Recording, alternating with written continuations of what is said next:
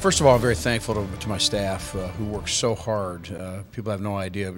Recruiting has changed a lot over the last 10, 15 years. It's nonstop, it's uh, endless, and we're already uh, making contact with recruits for next year already uh, as, as, uh, as, as, all this has happened this morning. But certainly, you know, all the coaching, the staff, the support people here, are the faculty and staff at the University of, uh, of Mizzou um, have done a tremendous job. It's kind of a, it's a, it's a team, it's a team effort. And but uh, and my staff's done a great job, and we're excited about having a great class. When you look at this class uh, as a whole, what sticks out to you? What's, what excites you?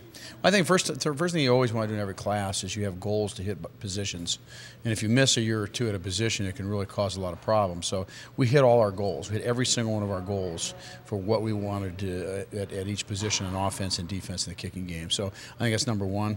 Number two is you know uh, you know these are the type of athletes that we've recruited in the past.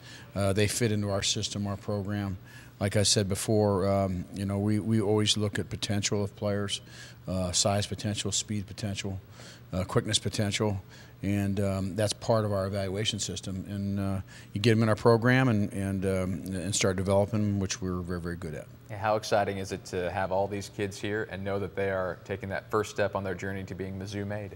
Well, it's uh, that's one of the great things about it. I've talked to every one of them this morning, and uh, you know they all had goals to go to college and excuse me, graduate from high school and have an opportunity to get a scholarship and go to college and play, and and they're all coming to a you know a, a, a place that. Uh, competes for championships year in year out, and um, that's that goal is accomplished now they're Missouri Tigers, and, and, and so it's a great day for them, but it's a great day for Mizzou uh, because this is the future of Mizzou football. And uh, I think the quality of players, uh, not only athletically, but certainly as people, have been uh, are absolutely outstanding. And uh, here we go.